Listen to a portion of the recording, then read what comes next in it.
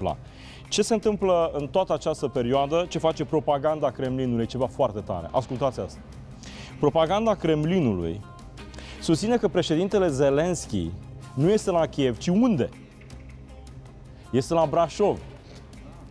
RIA Novosti, un ziar care răspândește propaganda Kremlinului, minciuni peste minciuni, a venit cu această informație, această, această manipulare, că de fapt nu este la Kiev, ci este la uh, Brașov. Bun, Se întoarcă la Kiev, dar nu poate că e aglomerație pe Valea pe Prahovei. Valea Prahovei, asta e. Bun, Mai e zăpadă și încă schiază.